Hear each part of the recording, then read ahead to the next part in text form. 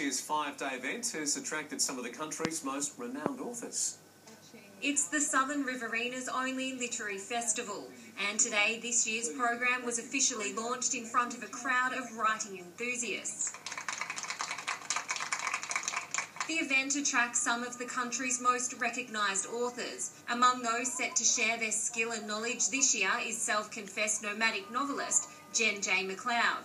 I have been uh, on the road full time in our caravan. We call Myrtle the Turtle because uh, she basically follows along with us. And we stop in small towns because I write about small towns. Ms McLeod has been travelling the east coast of Australia for the past three years. It's helped my writing in that I'm now more exposed to the elements. It, it's helped me bring the senses into my storytelling, and that's actually what I'm talking about at the festival workshop that I'm holding.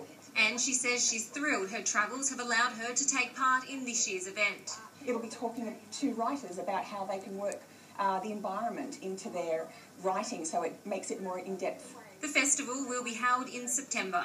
Ashley Aldridge, WIN News.